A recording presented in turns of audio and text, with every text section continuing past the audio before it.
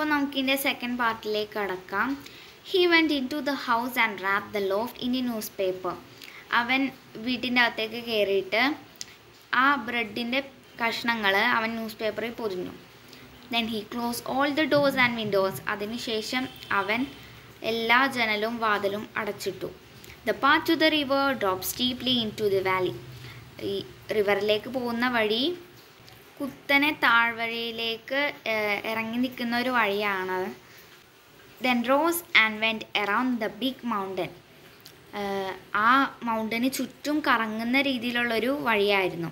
It was frequently used by the villagers ഈ വഴി villagers ആണ് use ചെയ്തിട്ടുണ്ടിരുന്നത് the woodcutters milkman and mill drivers മരം വെട്ടുകാരും പിന്നെ പാലൊക്കെ കൊണ്ടേ കൊടുക്കുന്ന മിൽക്ക് മാനും പിന്നെ മുൾ ഡ്രൈവേഴ്സ് എന്ന് വെച്ചാൽ മിൽ എന്ന് വെച്ചാൽ കോവർ കഴുത എന്നാണ് കോവർ കഴുതേനെ വാഹനമായിട്ട് ഉപയോഗിക്കുന്ന ആൾക്കാരും ആ വഴി പോകാറുണ്ട് but there no villagers beyond the mountain or near the river മൗണ്ടന്റെ അടുത്തോ അതോ റിവറിന്റെ അടുത്തോ അവിടെ വില്ലേജേഴ്സൊന്നും വില്ലേജ് ഗ്രാമവാസികളൊന്നും ഉണ്ടായിരുന്നില്ല. ബോയ്പാസ് എ വുഡ് കട്ടർ ആ കുട്ടി ഒരു വുഡ് കട്ടറിനെ പാസ് ചെയ്തു പോയി and ask him how far it was to the river അവൻ ആ വുഡ് കട്ടറിനോട് ചോദിച്ചു എത്ര ദൂരമുണ്ട് റിവറിന്റെ റിവറിലേക്ക് എത്താൻ? The woodcutter was a short but powerful man woodcutter ഒരു ഹൈറ്റൊക്കെ കുറഞ്ഞ ഒരു ചെറിയ നിന്നാലും നല്ല ശക്തിയുള്ള ഒരാളായിരുന്നു. With a creased and weathered face creased എന്ന് വെച്ചാൽ ഈ എന്താ വരയും കുറിയൊക്കെ ഉള്ളത്. എന്ന് വെച്ചാൽ മുഖത്ത് നിറച്ചും വരയൊക്കെ ഉള്ളതാണ്. വെതേർഡ് എന്ന് വെച്ചാൽ ചുക്കി ചുളുങ്ങിയ ഫേസാണ് ഇത് വിശേഷിപ്പിക്കുന്നത് ഒരു വയസ്സായ ഒരാൾ ആളായിട്ടാണ്. A muscle and muscle that stood out in hard ഈ മസിലൊക്കെ പുറത്തേക്ക് തള്ളിയിരിക്കുന്ന രീതിയിലാണ്. അഗ്ലി ലംസ് എന്ന് വെച്ചാൽ വിരൂപമായിട്ടുള്ള ഒരു ഇറച്ചി. അപ്പം seven miles he said seven miles എന്ന് വുഡ് കട്ടർ പറഞ്ഞു. വിച്ച് വാസ് ഫെയർലി അക്കുറേറ്റ് എന്ന് വെച്ചാൽ അത് ശരിക്കും പെർഫെക്റ്റ് ആയിട്ട് കറക്റ്റാണ് പറഞ്ഞത്. പെർഫെക്റ്റ് സെവൻ മൈൽസ് ആണ്. Why do you want to know നീ എന്തിനാണ് ഇത് ചോദിച്ചത്? നിനക്കിത് എന്തിനാ അറിഞ്ഞിട്ട് I am going to the river said the boy ഞാൻ റിവറിലേക്ക് പോവുകയാണ്. ആ ആൺകുട്ടി പറഞ്ഞു എലോൺ ഒറ്റയ്ക്കോ? അഫ്കോഴ്സ് അതെ ഞാൻ ഒറ്റയ്ക്കാണ് പോകുന്നത്. But it is to far ഇത് വളരെ ദൂരത്താണ്. It will take you three hours to reach there നീ അവിടെ എത്തണമെങ്കിൽ മൂന്ന് മണിക്കൂർ എടുക്കും. And then you will have to came back അത് കൂടാണ്ട് നിനക്ക് തിരിച്ചും വരണ്ടേ. It will be get in dark അത് ഇരുട്ടും. Beside it is not an easy road ആ അത് കൂടാണ്ട് അത് അത്ര എളുപ്പമുള്ള റോഡല്ല. But I am a good walker said the boy through he had never walk farther than the miles from his house to his school അവൻ പറഞ്ഞു ഞാൻ നല്ല നടത്തക്കാരനാണ് എനിക്ക് എത്ര ദൂരം ഉണ്ടെങ്കിലും ഒരു കുഴപ്പമില്ല. അപ്പോൾ അവൻ വീ അവന്റെ വീട്ടിൽ നിന്ന് സ്കൂൾ വരെ രണ്ട് മൈൽസ് ഉണ്ട്. അതുപോലും നടക്കാൻ മടിക്കുന്നവനാണ് ഈ ഏഴ് മൈൽസ് നടക്കാൻ പോകുന്നത്. The path was steep and the boy had to run most of the time ആ ആ പോകുന്ന വഴി ഈ വഴി നല്ല കുത്തനെയായിട്ട് നിൽക്കുന്ന ഒരു വഴിയായിരുന്നു. And the boy had to run most of the time അവന് അത് അതുകൊണ്ട് അവന് ഏറ്റവും കൂടുതൽ നേരം ഓടേണ്ടി വന്നു. It was a dizzy winding തല കറങ്ങും. അതാണ് ഈ ഡിസി എന്ന് ഉദ്ദേശിക്കുന്നത്. വൈൻഡിങ് പാത്ത് എന്ന് വെച്ചാൽ ഈ വളഞ്ഞും പുളഞ്ഞൊക്കെ പോകുന്ന ഒരു വഴിയായിരുന്നു. അത് കൂ അതുകൂടാണ്ട് അവൻ രണ്ടോ മൂന്നോ പ്രാവശ്യം ഒന്നോ രണ്ടോ പ്രാവശ്യം അവൻ വീഴുകയും ചെയ്തു. സ്ലിപ്ഡായിട്ട് വീഴുകയും ചെയ്തു.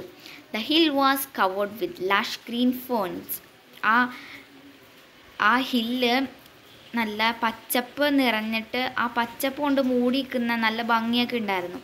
The trees were found in creepers and a great white dahlia suddenly reached its golden head from the leaves and ferns. എന്ന് വെച്ചാൽ ഈ മരം ഈ ക്രീപ്പേഴ്സ് കൊണ്ട് വളഞ്ഞു നിൽക്കുമായിരുന്നു ആ ക്രീപ്പേഴ്സ് ഫുൾ ആ മരത്തിൽ എന്താ കയറി പറ്റിയിരിക്കുകയായിരുന്നു.